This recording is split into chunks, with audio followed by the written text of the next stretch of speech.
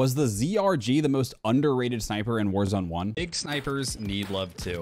And I'm here to tell you that the ZRG might be the most underrated sniper in all of Warzone. And that's for two reasons. Number one, bullet velocity. With how fast these bullets fly on Rebirth Island, this thing feels basically hit scan, meaning just point and click. But what really separates the ZRG from the others is its damage, since it is the only sniper to deal over 100 damage to extremities, meaning you will never break armor and then get a hit marker, which happens all the time with the Kar or Swiss and every other sniper. Now, I know you're probably in the middle of typing. Ha! You'll never see me use anything but the Kar 98 because I'm a quickscoping legend. Phase up. But I'm here to tell you that the real players can quickscope with the heavy snipers. Plus, let's be honest, most of you guys use the Kar or Swiss and still hardscope harder than Will Smith slaps. So trade in a tenth of a second slower ADS for a way more accurate and harder hitting sniper. You can thank me later.